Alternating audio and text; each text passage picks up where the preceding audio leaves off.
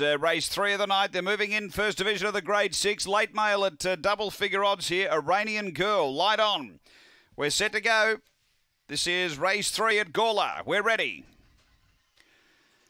Racing, pace coming from You Know Shelby's going to drive and be the leader. Iranian Girl trying to push up, but going to the first bend and burrowing up. You Know Shelby held the lead by two to my Villanelle. A length and a half, Victor Jess. It's outside Iranian Girl. Uh, then Blake's crossing, and Holway was a further three lengths away. Down the back, You Know Shelby out by two on my Villanelle, and also Victor Jess. They just got in a bit of a tangle that pair, and then came Iranian Girl and Blake's crossing up to the bend. You Know Shelby led. Victor Jess running on. You Know Shelby in front. Victor Jess coming through. You know Shelby holds Victor Jess. Third close. Blake's crossing a whole way. There's not much in that one. Uh, then my Villanelle and a, a, Iranian girl back at the tail end. The time here is around 31 and 30.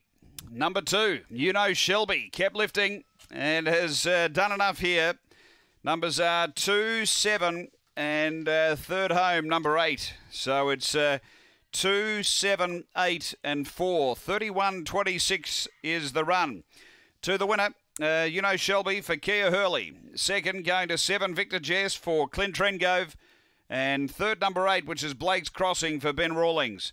Numbers are two, seven, eight, four after uh, race number three here at Gawler.